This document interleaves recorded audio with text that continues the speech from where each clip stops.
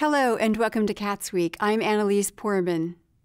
Monroe County Health Administrator Penny Caudill talked about being cautious despite lifting local COVID 19 restrictions. At the May 21st coronavirus press conference, she said residents should be wary of businesses who are reopening too quickly. As patrons, we will have to decide are we comfortable going in to a facility, whether it's retail, food, whether it's just a retail shop, who is acting like this is 2019? Or are they easing back into how they're setting up? Do they still have their tables set six feet apart? While it may not be a mandate, it's still certainly a recommendation. It's a safety factor. So we would encourage people to continue to think about those things in that manner. Just because you can put people closer than six feet doesn't mean that you should put people closer than six feet. Assistant Vice President for Strategic Partnerships at Indiana University, Kirk White, also announced that students, faculty, and staff would be required to have their COVID 19 vaccination in order to return to IU for the fall semester. He said there would be an exemption process, but it would be tight. Now, we're going to have an exemption process. But I'm going to have to say that that's going to be a really tight exemption process. It will be for very limited uh, religious reasons or medical reasons. It'll be much more restrictive than our uh, flu vaccine exemptions that we had uh, last year. So this exemption process, uh, there'll be more details about that posted by uh, June the 15th. But just let me say that that uh, it's going to be a very restrictive exemption scenario. So you should plan to uh, get vaccinated.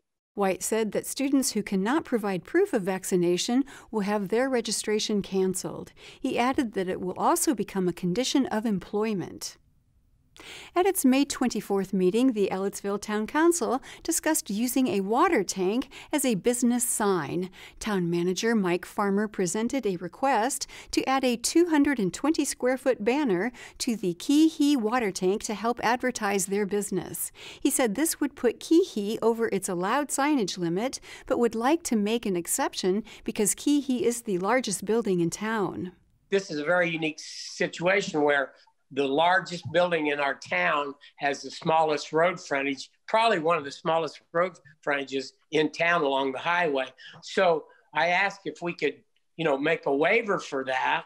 Councilmember Scott Oldham challenged the signage ordinance. He questioned Planning Director Kevin Tolloty whether this conversation would be happening if Keehee just painted on the water tank instead. So if they just paint the water tank Keehee that size, we really have nothing in it if as long as it doesn't have Keehee written on the tower, no. So if, if they painted, did, wait a minute, if they painted Keehee on the sign or Keehee on a water tank bigger than what the sign ordinance is, that would be in violation of the sign ordinance. I mean, the way our code's written, that would be considered signage. Again, my proof that we have erred with this ordinance. That's ridiculous. That's beyond ridiculous. Farmer suggested they waive the fee to take the signage request to the Board of Zoning Appeals. Council members chose not to do so. And we'll have more CATSweek after this message. For hurting families in Monroe County. A contribution to, to children who are vulnerable and in need of an advocate. A staff that goes above and beyond to support and advocate for children in need of services. The web of remarkable people who are dealing with difficult situations. So many young people that uh, are in need of help and trying to find a stable family, a stable place to live. Without uh, the CASAs to, to make that happen, many of them would be unable to find a good home. I love being that voice for the child who can't speak for themselves in court. It takes me out of my comfort zone and it also helps others. CASA means supporting our community. Being a CASA is making sure that your village is healthy and whole, and that the children in your village will someday be able to help the village as well. A child who doesn't have a voice, maybe in their family situation or a school situation, now has a voice that can advocate for them. I really enjoy working with children that are going through difficult times and letting them know that I care about their future. We are privileged um, with our charge of representing the best interest of children. And so, therefore, we can advocate for exactly what they need without restriction, focusing on their best interest. I want to repair the world one child at a time. Welcome back to CATSweek. The Bloomington Utilities Service Board honored the life of a former City of Bloomington Utilities employee at its May 24th meeting. Transmission and Distribution Director Brandon Prince presented a resolution to gift a fire hydrant to the family of CBU employee Mark Raper, who passed away May 15th. He talked about how CBU employees wanted to do something special in Raper's memory. So what we did is we took an old hydrant and after hours we sandblasted it and, and put a uh, fresh coat of paint on it, and then we gave everyone paint markers and we let them uh, let them all sign it. Then uh, the the hydrant traveled to uh, Mark's viewing uh, over on the east side of town, and it's it spent four or five hours there. And once uh, we we just thought we wanted to show support to the family and show what Mark meant to everyone there at CBU. Assistant City Attorney Chris Wheeler recognized that the fire hydrant could be declared surplus and gifted to the family if it has no market value. Prince confirmed that to be true. Board members approved the resolution unanimously. The Bloomington Board of Public Works discussed two appeals for excessive growth at a home on East Round Hill Lane. At the May 25th meeting, Neighborhood Compliance Officer Jo Stong talked about issuing the notices. She said the yard had prohibited plants that were taller than the allowed height of 8 inches and that the homeowner did not respond to the initial violation. I issued a notice of violation on April 30th. Um, the grass turf grass was over eight inches tall. Uh, I issued a second violation on May the 10th.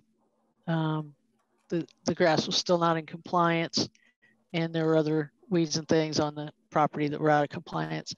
I, I got no response, and so I went ahead and marked it for abatement. And it's before you now. We were asking for permission to enter the property to abate the violations.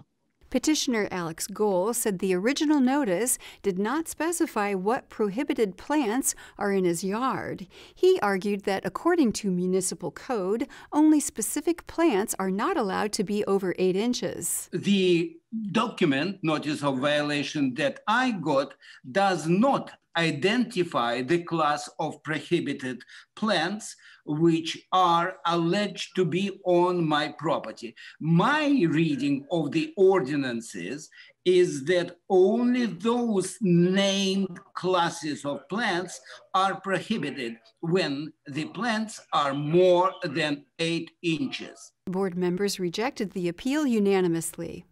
They moved on to discuss abatement of the property. Assistant City Attorney Daniel Dixon questioned Stong over additional violations that would make abatement necessary. You mentioned Linda Thompson did a site visit yesterday, correct? Yes. Um, and you discussed uh, with her some of the violations that she observed. Correct. Um, you mentioned turf grass in excess of eight inches. Is that one of the violations she noted? She did, yes. Um, and then did she also identify some impermissible plants such as purple winter creeper and honeysuckle that were in excess of eight inches? She did, yes.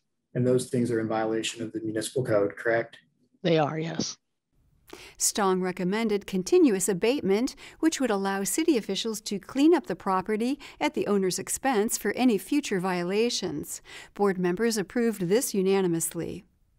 And we'll have more CATSweek after this message.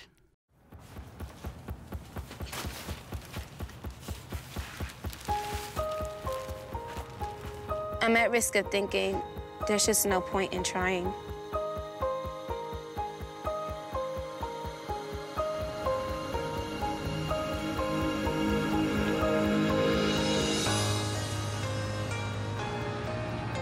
I'm at risk of looking in the mirror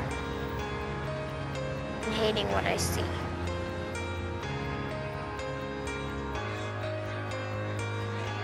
I'm at risk of regretting what I do just to join the crowd.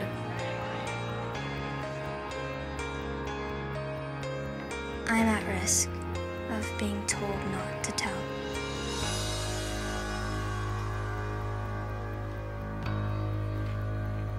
And you would never know it by looking at me.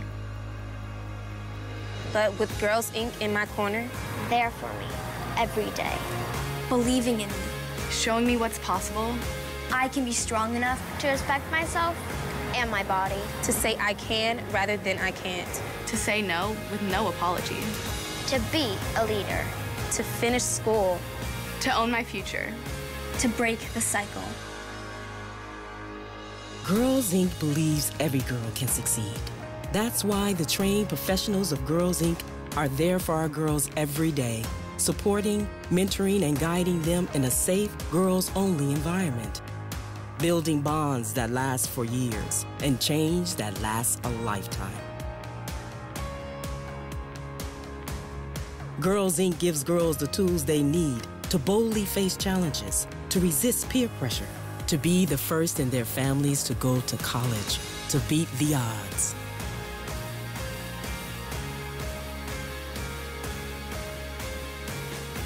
With Girls Inc. in her corner, every girl can be healthy, confident, and resilient. She'll do more than dream about her potential. She'll reach it.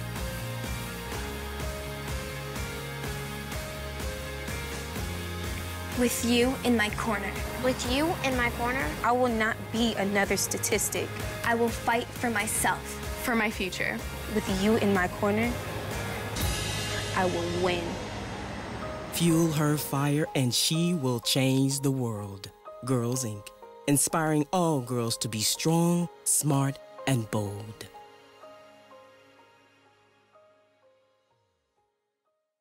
Welcome back to CATSweek. The Bloomington City Council discussed hybrid electronic and in person meetings at its May 26th special session. Council Administrator Attorney Stephen Lucas presented a resolution that would allow members of the public and some council members to attend future meetings digitally. He stated that the city supports this resolution and recognized that some boards and commissions have already passed some form of the resolution and Corporation Counsel Philippa Guthrie wanted me to uh, share that uh, the administration has reviewed the resolution, um, that they are fully supportive of it, and that they intend to make sure that other boards and commissions throughout the city um, have such a policy in place as soon as possible um, that, that aligns with this one as, as much as possible. Um, I know some boards, I believe the Utility Service Board may have even acted already to, to adopt a policy. Um, just as a point of information, I know that the county um, uh, commissioners have also adopted a policy um, that uh, essentially looks looks like the policy you have in front of you. Reporter Dave Askins asked why this was a resolution and not an ordinance. Councilmember Isabel Piedmont Smith echoed this concern. Lucas clarified that a resolution can be enforced in the same way as an ordinance in this case. Many of the city's policies are adopted via resolution. Um, certainly, an ordinance would have been an option here. Uh, the guidance that came from AIM was uh, that cities adopt a resolution. Um, certainly not the intent to imply that uh, because this is a resolution, it's it's any less enforceable or uh, any less binding than than something that would have done by ordinance. Council members approved the resolution seven to zero. The Bloomington City Council Housing Committee discussed changes to rental unit inspections in the municipal code. At the May 26 meeting, Director of Housing and Neighborhood Development, John Zody, said the city has trouble enforcing occupancy limits in smaller rental units. He presented an ordinance that would require tenants and property owners to sign a document to prove a rental unit is meeting city occupancy limits having another piece of documentation in-house that uh, helps us document something to planning that says, here's the affidavit, this, but this house is overoccupied. Here's the affidavit that attests that uh, it has this uh, number of, of uh, tenants in it. They have all signed it. The landlords attested to that. The tenants have attested to that. Uh, I guess it provides more documentation if I if I uh, understand your question correctly, and so that allows then us the ability to track uh, in a more data driven way over occupancy when it comes up at this threshold of the four units or less per, per building. Council member Kate Rosenbarger asked about the size of rental units targeted by the ordinance. She wondered why HAND chose properties with four units or less rather than larger units. If we're worried about over occupancy, I, I feel like targeting rental units of, four units or less is missing a very wide piece of housing units in our city. I mean, we obviously we have multiple buildings with like five or more units and we're not requiring affidavits for those where like if there is a fire that's a ton more people that we have to evacuate. Council member Matt Flaherty showed concern over how the ordinance is worded. He said it needs to be clear that the ordinance exists to enforce the UDO and not for safety purposes. We should be very clear that this ordinance is to help enforce that policy decision that has already been made and is not specifically about danger and about safety because that is something different which is about um, number of bedrooms and occupancy of those bedrooms um, so I, would be interested in an amendment frankly to strike the second whereas clause um, or, or modify it in some way to be more clear about that um, because i think it's a it's, it's a pretty minor point but but the language and how we think about and talk about different types of uh, residents in our community uh, has very real implications in in how we think about greater housing policy, and I think we've seen that recently. Council members voted to recommend the ordinance to the City Council four to zero. And we'll have more CATSweek after this message. Let's talk about sex. What is consent? And what's not? Consent is based on choice. Consent is active, not passive. Consent is giving permission without feeling pressure. What is not consent? Silence. Passed out. Intoxicated. Fear. Is it not, not consent. consent. God consent? Ask. Sex without consent is a crime. Only yes means yes. Welcome back to CATSweek. County Planner Anne Crecelius presented an amendment to the Fieldstone PUD at the May 26 Monroe County Board of Commissioners meeting. She outlined proposed changes to the PUD, including updated design standards and additional proposed uses. The petitioner is requesting a planned unit outline amendment to include um, the following uses that are defined by Chapter 802. So um, they're wanting to add in three uses government facility, community center, and agricultural uses non animal related to the list of approved uses for parcel L. Um, with this request, they're also proposing to define um, some design standards that were either silent or a little vague within the originally approved ordinance. Uh, the intent of this request is for the Van Buren Township Trustee's Office to be able to pursue the construction of a township office that would also be a community center and have a community garden. A resident of Fieldstone expressed concern that the center would be close to some families' backyards. Van Buren trustee Rita Barrow said that these concerns would be addressed when the township enters the design phase of the project. She says the goal of the project is to enhance, not disrupt what the community has. I am willing to work with the residents. I don't want to disturb anything that they currently have what I'm wanting to do is enhance it. So, um, yes, we will be working close together with the residents before we ever put a shovel to the dirt. Commissioners unanimously approved the amendment. The Bloomington Historical Preservation Commission discussed renovating a shed at a property on West Allen Street.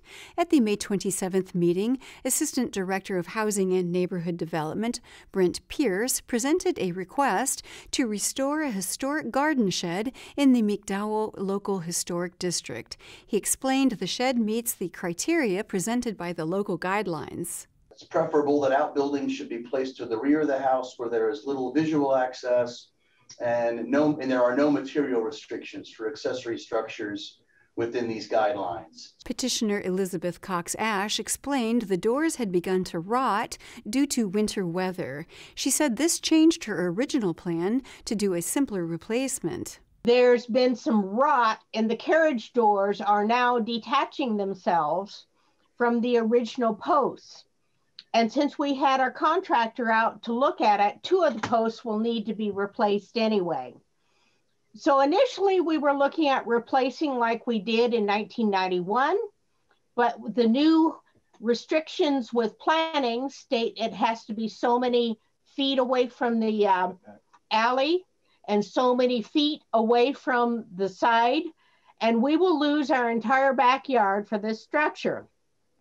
So then we talked to our contractor again and decided, well, let's renovate what there is and do it again.